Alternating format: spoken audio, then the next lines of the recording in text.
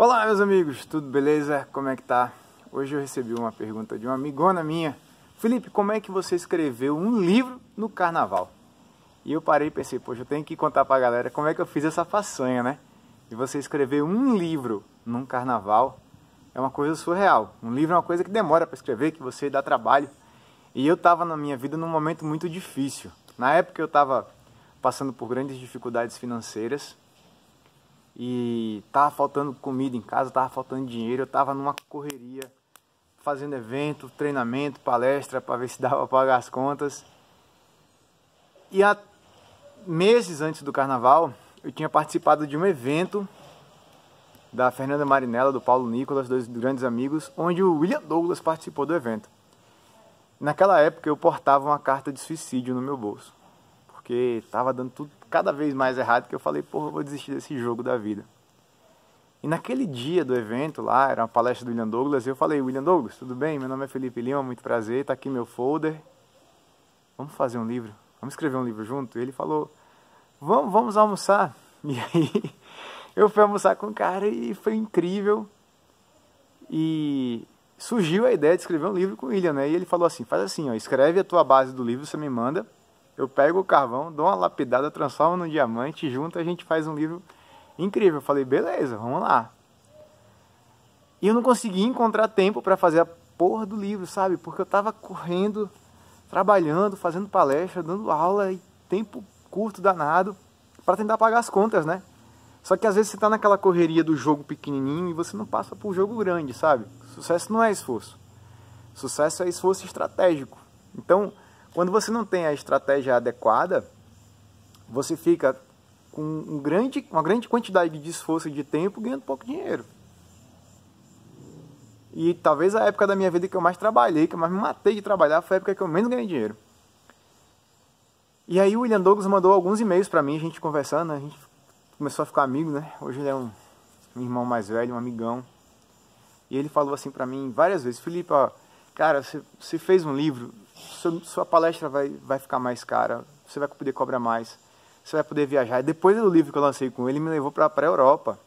Sério, me levou para palestrar no palestrar, participar do programa Os Incríveis no, no, National Geographic. Por causa desse livro, né, do livro Mapas Mentais e Memorização para Provas e Concursos, eu fui batendo na Maria Braga, no programa Mais Você, no programa do Roberto Justus. Olha como quantas portas se abriram para mim, né?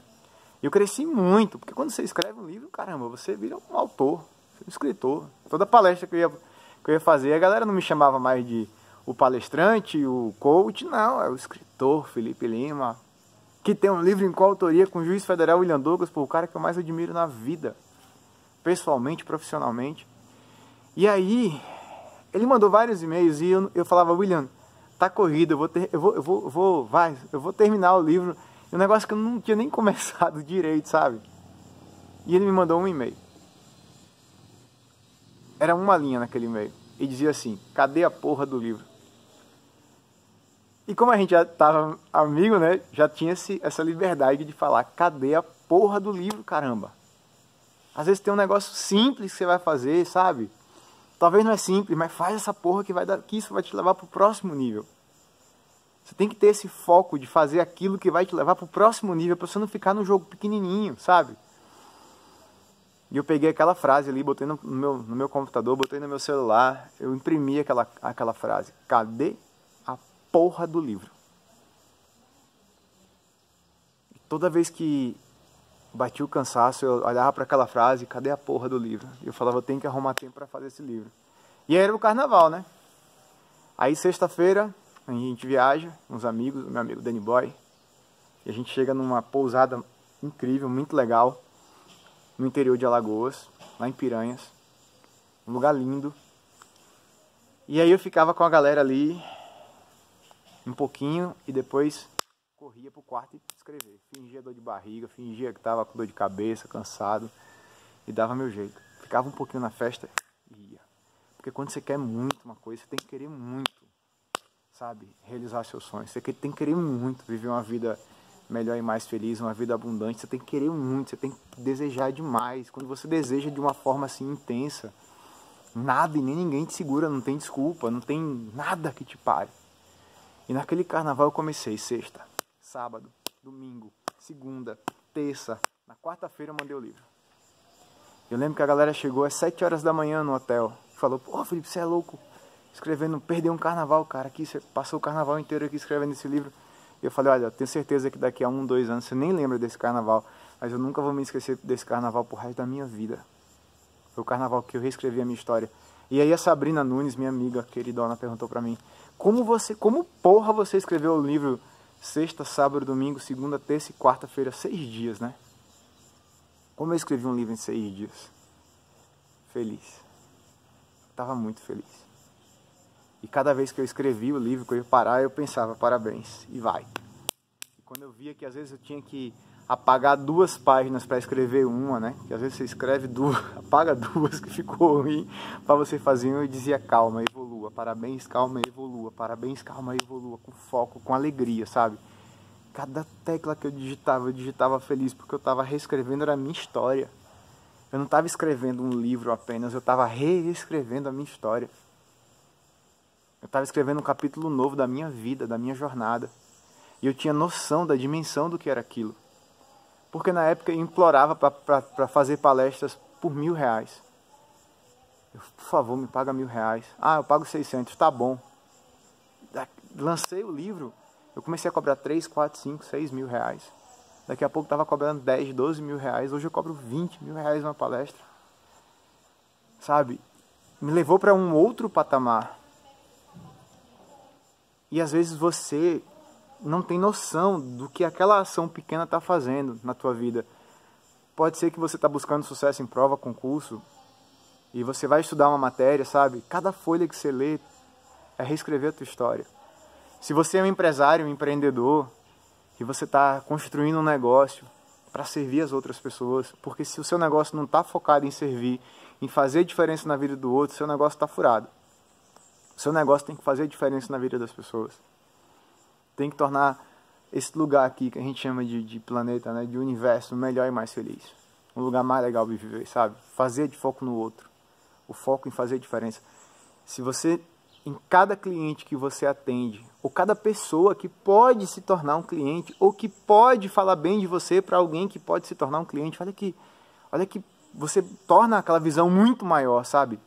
Eu consegui escrever um livro em seis dias no carnaval porque eu queria demais, porque eu tinha noção de propósito, eu entendia que aquilo ali tinha um propósito muito maior para frente. E se você tiver perdido na vida sem um propósito, você vai você vai perder energia, você vai o tempo vai passar e você não vai conseguir fazer tudo que você poderia fazer. E você vai olhar para trás e vai falar assim: "Porra, eu tô jogando joguinho, sabe? Tô jogando esse joguinho aqui, ó. O jogo do pouquinho ali, o jogo do bom. Bom é nota 7,5 para 8. Eu não quero, não quero nada para mim. Nem na minha empresa a gente se dá bom dia, é dia maravilhoso, dia extraordinário. Então foi assim que eu consegui escrever um livro em, em um carnaval.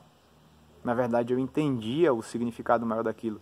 É como certa vez perguntaram para três pedreiros, né? O que, que você está fazendo aqui? O primeiro falou, ah, estou botando um tijolo em cima do outro. O segundo fazia a mesma coisa, falou, estou fazendo uma parede. O terceiro que fazia a mesma coisa falou, eu estou construindo a casa do Senhor, estou fazendo uma igreja. Os três tinham significados diferentes para uma mesma ação. Se tudo o que você for fazer no seu dia, na sua vida, um banho, uma refeição, um beijo que você dá numa pessoa que você ama, o cocôzinho do cachorro que você pega ali na frente, no gramado que eu pego ali, o cocôzinho do não jogo fora.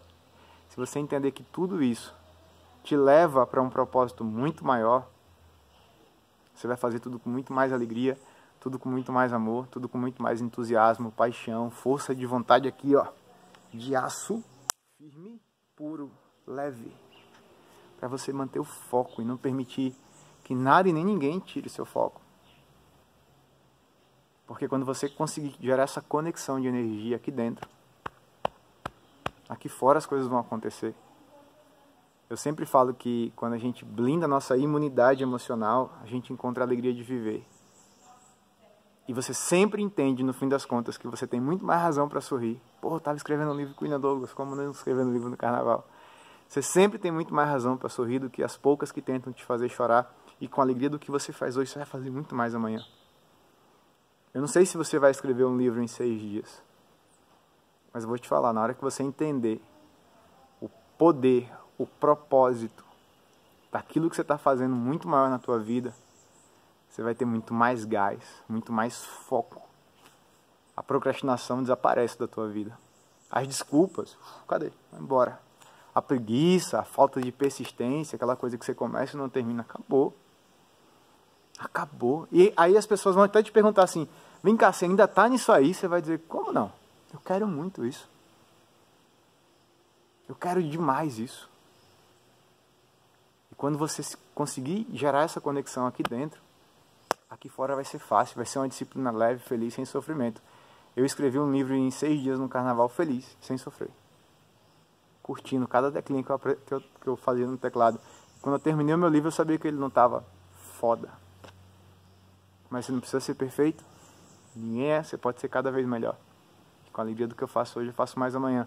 Com a alegria que eu fiz a primeira edição do livro Mapas Mentais Memorização para Provas e Concursos, eu fiz a segunda edição. Com a alegria da segunda, fiz a terceira. Com a alegria da terceira, fiz a quarta. Com a alegria da quarta, fiz a quinta. E já estou escrevendo a sexta edição. E com a alegria da quinta edição do Mapas Mentais, eu escrevi o livro Leitura Dinâmica, o Disciplina Inabalável, Imunidade Emocional. E já estou escrevendo outros livros. A alegria, esse é o grande segredo. Como eu fiz isso? Feliz. Pra caralho. Se esse vídeo te ajudou, conta com seu joinha para a gente espalhar essa mensagem. Compartilhe esse vídeo aí com alguém que precisa se inspirar para viver uma vida de mais alegria, mais foco, mais resultado na vida. Se você não está inscrito no meu canal, inscreva-se. A gente sempre traz aqui mensagens sobre prosperidade, abundância, alegria de viver, a imunidade emocional, que é tema do meu quarto livro. E é isso. Um beijo para você no coração. Feliz carnaval aí, tá? Curta seu carnaval. espero que você esteja aproveitando bem seu carnaval. Que tenha uma vida extraordinária, além além daquilo que você, além das barreiras, além das dificuldades que você tem enfrentado hoje. Conta comigo para superar cada uma delas. Beijo no coração. Valeu.